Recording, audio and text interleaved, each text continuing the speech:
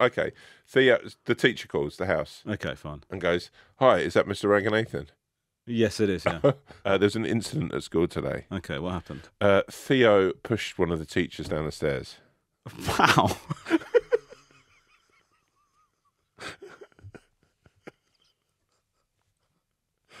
We're not sure. right. Okay. We're not Um, sure if it was on purpose. It was an accident. There was a couple of them involved. Um, but yeah. Uh, now we've sort of had a little chat with Theo. When did this happen? Uh, it happened at uh, lunchtime. How come you waited to the end of the day to call me to tell me about it? Well, the teacher was being very, very quiet about it. We knew something was up. Are they all right? Yeah, yeah, they've twisted their ankle and they've got a bit of a bruised knee. Do you do you know what I mean? Look, first of all, can I just apologise for? I, I That's mean, fine, We'll be having a serious word with Theo. Well, yeah, I mean, what what what steps you- will the school be taking? Uh, well, you know what? The teacher is a bit annoying at times, um, and we realised that. Uh, what, what is this role play? But we, we, we actually, because you used to be a teacher, we want to think, well, what would you do in this situation? What would I do? Sorry, what would I do if I was pushed down the stairs? Is that what yes, you're asking? Yes, or like, what would you do if you were the head It teacher? feels a bit weird for you to. Sorry, are you asking me to tell you what the school should do? Well, you, we're just in a bit of a conundrum at the moment because Theo is a very popular student, and we don't want to make this a bigger problem than it needs to be. But obviously, he needs to be disciplined.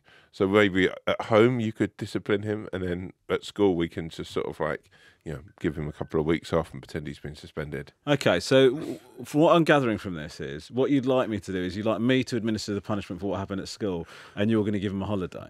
Well, yeah, I mean, don't call it a holiday. That can only stay between the two of us. Um, even say to your wife that he's been suspended.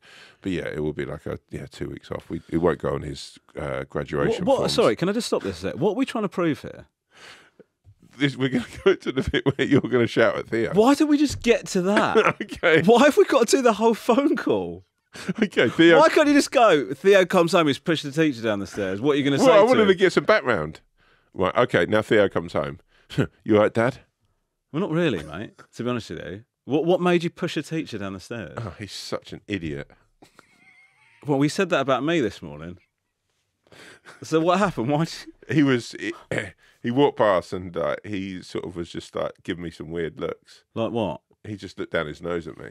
And I was like, I'm not having that because my mates were saying that he looked looked down his nose at me. So I just gave him a little gentle shove. And then he, over it, Theo, you can't push a teacher. oh, why not? Why not? Why not? Why do you think? I don't Well, it's know. physical violence, isn't it? yeah, maybe it's stupid of me. Maybe I just want to be seen.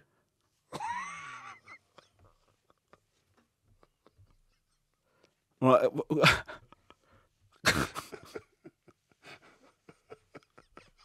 Are we in a remake of Saved by the Bell? Why is Theo behaving like that? Actually, what what he just said there was weirder than the pushing the teacher down the stairs thing for me, in terms of out of character things.